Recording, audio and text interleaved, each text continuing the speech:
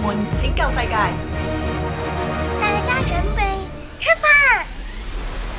Sophie 系一位拥有超强力量嘅年轻女英雄，佢嘅超能力系跑起嚟拥有超强嘅速度，佢甚至可以将佢嘅超能力分享俾佢接触过嘅人。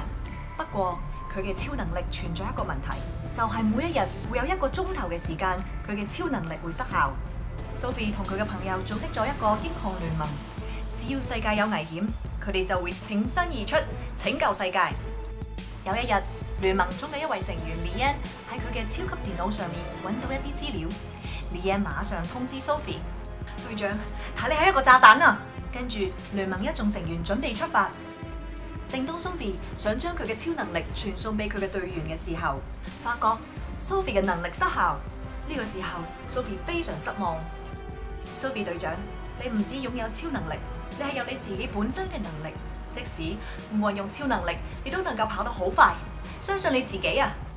好，我要相信自己。大家准备，出发！苏 e 带领英雄联盟好快咁揾到炸弹嘅所在地，但系发现炸弹系需要密码嚟拆除。瑞 n 今次要靠你啦！因为连恩系一位电脑专家，佢用好快嘅时间就喺电脑计算出密码，密码就系一一一零。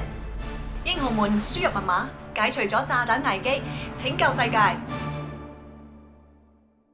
十一月十号，爱跑四门河。